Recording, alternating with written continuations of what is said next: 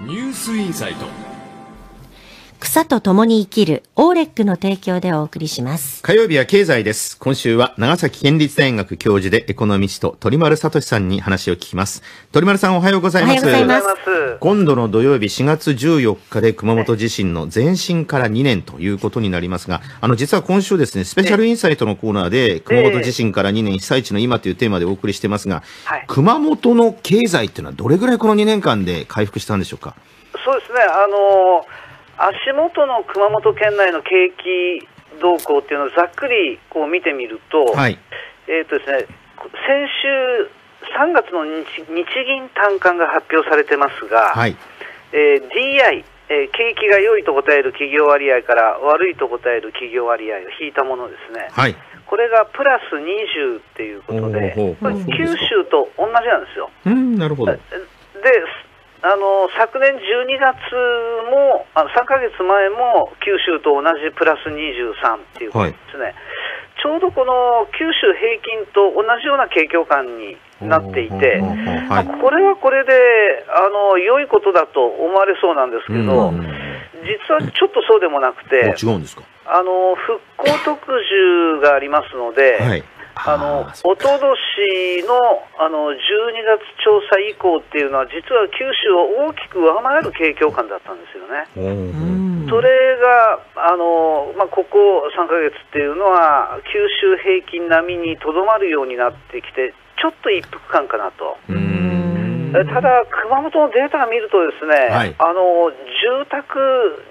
着工ニーズはものすごく旺盛で、まあ、うんもちろんなんですけれども、うん。それから公共投資も、まあ、災害復興工事ありますから、はい。高水準で推移しているんですよね。なんだけど、どうして九州平均並みかっていうおとー、これ、人手不足ですね。ああ、そうですだから、うん、いろんな注文はあるんだけど、追いつかないそれが、うんうん工事進捗につながりにくいっていうことで、やっぱり入札不調なんか相当起きてるみたいですよね。はまあ、それでもあの2年前のあの熊本地震直後の熊本の景況感って、はい。マイナス16だったんですよね。あ、そうですか。えーあおの全国で一番落ち込んだわけですけれども、うん九州平均はプラス5なんですが、はい。それを考えると、この2年間でとても頑張ったなっていう感じであるんですよね。うん。例えば先月末に公表された今年1月1日時点の工事地価っていうのがありますけれども、うん。熊本県は商業地が26年ぶりに下落から上昇に転じて、はい。でまあ、被害が大きかったのが益城町ですけれども、はい。あの宅地価格がガクンと落ちていたんですが、うん。これもあの今年の1月1日時点では底入れして、プラスに向かったあとーいうことですから、あのまあ、回復傾向が見られるようにはなってきているっていうことですね、それとあのここに来て、あちょっと明るいニュースっていうのもだんだん増えてきてて、ですね、はいまあ、まだあの仮設住まいの方々たくさんいらっしゃるわけなんですけれども、あの例えば閉鎖が続いていたあの熊本県菊池市のあの菊池渓谷っていうのが、はい。名水百選で阿蘇九十国立公園にありますけれども、はいこれが3月24日から2年ぶりに一般開放されたり、はい。はい。JR 九州の七つ星が、あの先月末から2年ぶりに阿蘇駅にあの泊まるようになったりとかですね。うんもうそ観光客にとってもこう分かりやすい形で復興の光が見えつつあるんじゃないかなっていうところですね。うんで熊本で今、ものすごく活発なのは設備投資なんですよね、民間企業の。ああ、そうですか。えこれはあのもう私も何社か熊本県内の企業さん訪ねていくんですけれども、うん設備がですね、はい。目に見えて新しくなってきてるんですよ。ああ、そうですか。えこれあの、設備を新しくするためのグループ補助金という制度がかなり広い範囲で使われるようになっていてですね、うんあの一般的に補助金っていうのは、はい研究開発したり試作品を作ったりする設備にはもちろん使えるわけですけど、うん特定企業が利益を出すために税金を投入するのは良くないっていうことで、うん。うん。あの量産化の設備投資に補助金は使えなかったんですよね。はいはい。ところがあの東日本大震災をきっかけとして、うん。あのグループで複数の企業がグループで補助金申請してくると、うん。これはもう地域経済そのものじゃないかっていう言い訳ができますので、えー設備に普通に使ってもいいですよっていうふうに変わってきたやつなんですけそれは、あの、被災地の特例ではなくて、全国的にそういうものなんですか、それ。いやいや、これやっぱりあの何かあった時にこの地域にはグループ補助金を適用しますよっていうので、うんなるほど。東日本大震災の次が熊本地震熊本。うん。なるほどになります。うん。でこのグループ補助金の内訳を見てちょっと驚くことがあってですね、はい。まあ、件数とか金額とかはあの4702社に事業者に対して、えー交付されていたり金額は今まで1328億円出てたりって、まあ、これ順調に増えてるんですけれども、はい。注目したいのは認定を受けた企業名なんですよね。ほうほう。えーこれが認定が始まって最初の1回、まあ、月に1回ぐらいずつこう認定されていきますので、はい。最初の5、6回目まではもうほとんどがもう見たことのある企業ばっかしだった要するに株式会社である程度大きくてって、うん。ところがですね先月認定された53の事業者があるんですけれども、もう1割ぐらいしか知らない会社で。多くはですね有限会社。はもう今は会社法で新規設立認められてませんけど、だから老舗ですよね、うん。有限会社か、あるいは個人名なんです。へえ。個人名っていうのは、要するに自営業者の方々ですよね。だからようやくこう零細な町工場とか小さな商店街の店舗にまでグループ補助金が行き渡るようになってきてるっていうことですから、こう徒歩生活圏、うん。はい。そういったところの建物や設備が今、どんどんどんどん新しくなっていっているっていうので、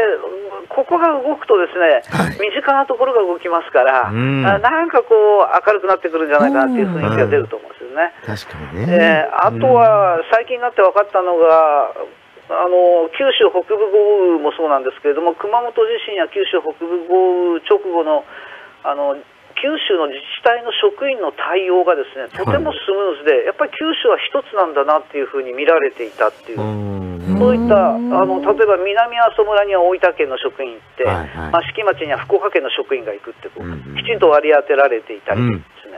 あの応援団がたくさん行っても混乱するだけだっていう反省から、はい。あのこの前の九州北部豪雨は長崎県の職員が先に連絡係で入って、はい全体の指示をやったとかです、うんうんうん。で総務省の方もこれ、九州モデルは素晴らしいっていうので。でこれから大規模な災害を被ったときは、市町村に対してどこが応援をしましょうっていうのをあー1対1対応で、うんあの総務省の方から指示を出すっていうふうにあの変わっていきますっていうことでですね、なんか地元によってただひたすら災害直後って混乱しかなかったような気がするんですけど、うん熊本地震、九州北部豪雨っていうのは外から見てると、ああ、九州って一つなんだなっていうふうに見えたっていうことですね。なんかあの最近になってこういった話がたくさん出てきて、うん内側にいるのと外から見てると違ったんだなっていうのがうん分かりますよね、この雰囲気を大切にしたいです本ね。当ですね。なんか今の話聞くとね、ちょっと明るい兆しも見えてるんだなっていうのがね、うんね思いますね。はい、ありがとうございましたあり。がとうございました長崎県立大学教授でエコノミスト、鳥丸聡さんでした。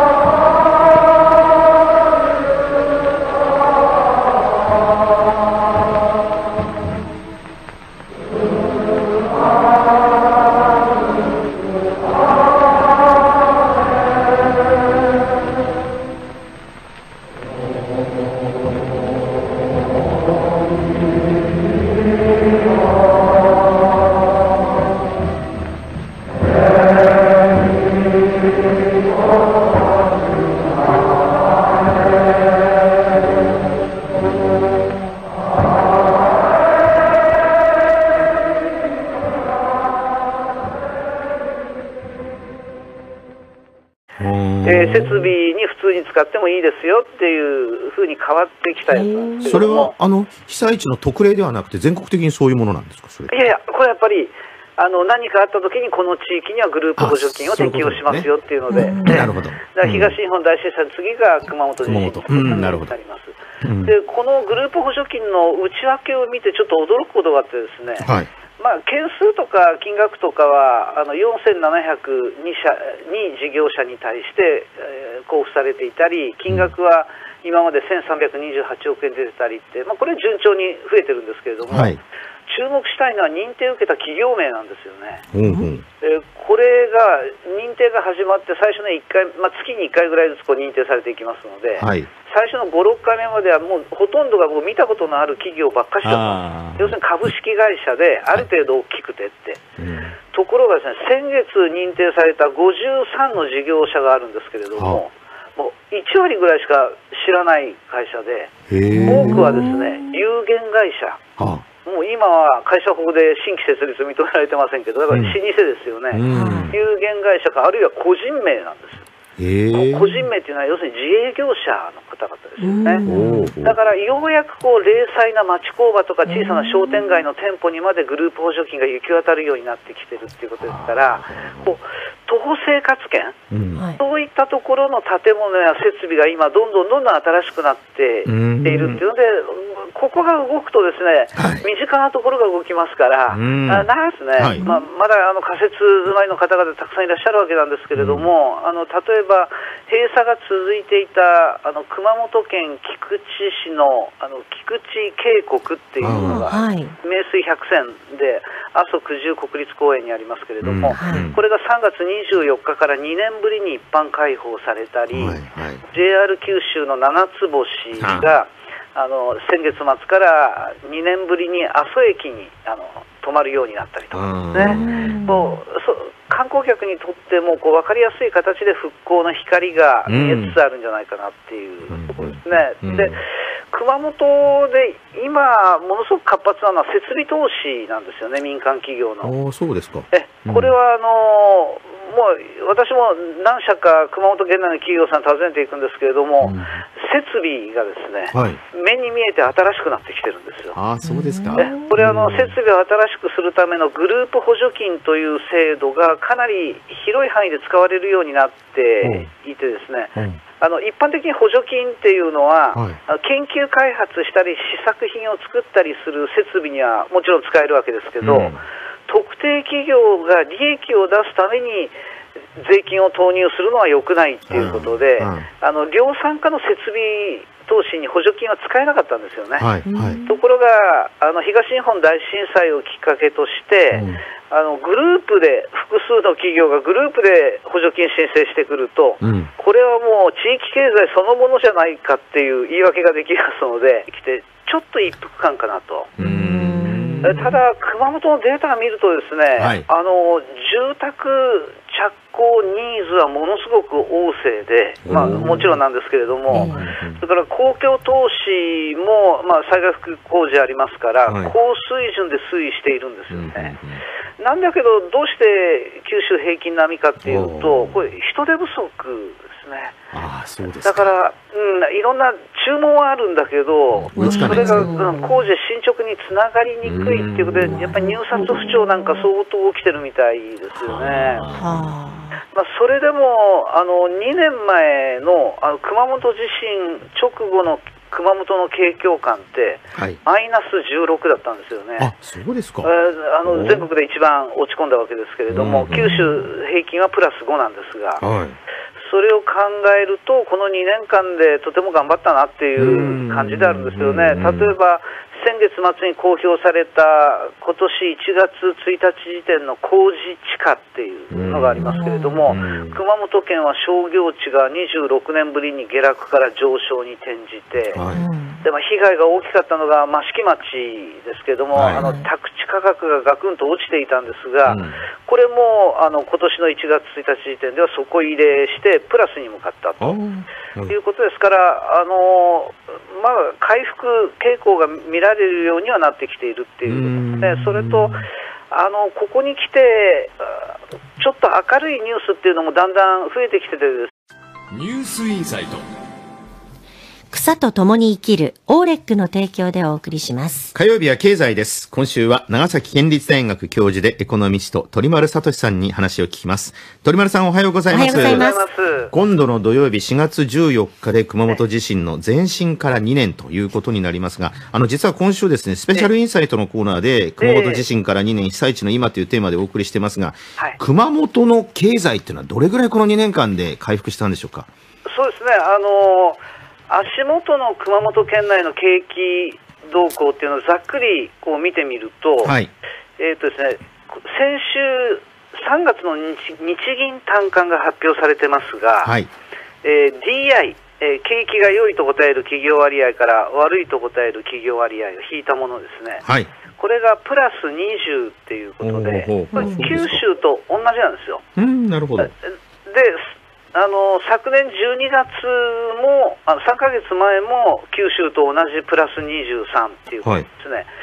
ちょうどこの九州平均と同じような景況感になっていて、はい、これはこれで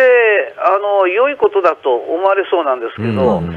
実はちょっとそうでもなくて、違うんですか？あの復興特需がありますので、はいあのおととしのあの12月調査以降っていうのは、実は九州を大きく上回る景況感だったんですよね。それがあの、まあ、ここ3か月っていうのは、九州平均並みにとどまるようになって、かこう明るくなってくるんじゃないかなっていう雰囲気が出ると思うんですよね。確かにね、えー、あとは最近になって分かったのが、